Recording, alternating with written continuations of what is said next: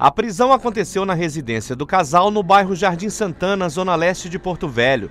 De acordo com os policiais, Márcio Pinto da Costa, de 33 anos, teria agredido com um pedaço de cana a companheira, Luciana da Silva de Souza, de 30 anos.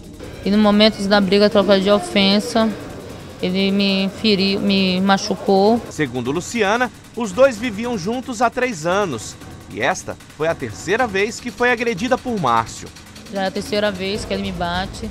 Se todas as mulheres fizessem isso com o seu companheiro, denunciasse, talvez não, não, evitaria muitos assassinatos, né? Como assim, eu e ele, né?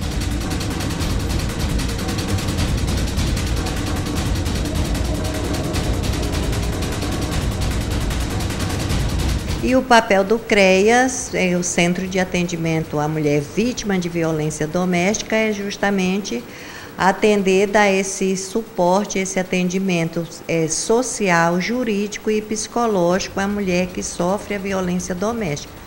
Nosso papel aqui é atender, receber a mulher, fazer esse acolhimento e dar todo o suporte necessário para que ela possa é, superar essa situação e sair do ciclo de violência.